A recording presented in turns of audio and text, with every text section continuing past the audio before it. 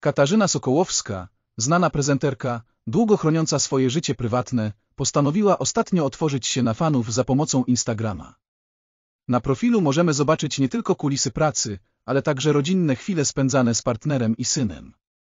Ostatnio celebrytka świętowała urodziny na słonecznych wakacjach z partnerem Arturem Kozieją i jeden, pięć, rocznym synem Iwo Lewem, pokazując ich zdjęcia na swoim koncie. Znana jest także z buszowania po galeriach handlowych, co uwidaczniają zdjęcia z zakupami torebki Louis Vuitton za 15 tysięcy złotych. Katarzyna Sokołowska udowadnia, że praca to nie wszystko i warto również czasem odpocząć w ciepłej destynacji w gronie najbliższych.